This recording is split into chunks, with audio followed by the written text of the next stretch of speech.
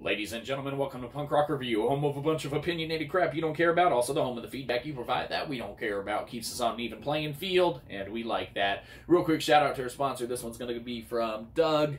Hey man, keep up the good work. These are funny as shit.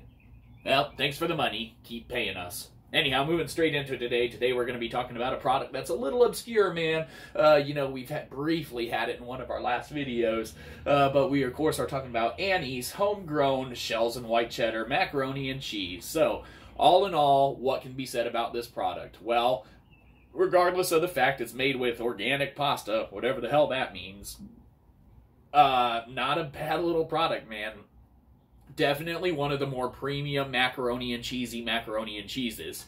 Uh, and, you know, any fan of macaroni and cheese will most likely like this one, unless they are just super fans of the original macaroni and cheese, because, of course, this one has the white cheddar macaroni and cheese, and it's not that yellow powder stuff. This one's a white powder, even though it is made with real cheese. It says on the box. Can you see it? Probably not because all our videos suck and you know it doesn't make any sense.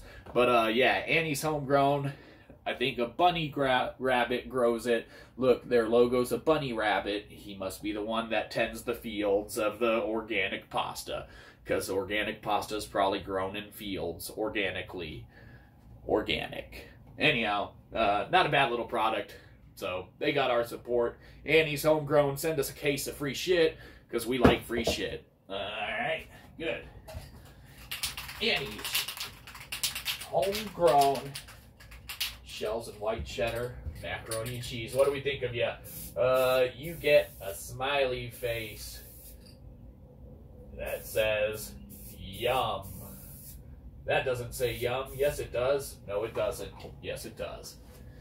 Anyhow, what? You wasted over two minutes of your life. What do you want from us? Give us money. Have a good one, you probably didn't. We'll catch you next time. Probably won't.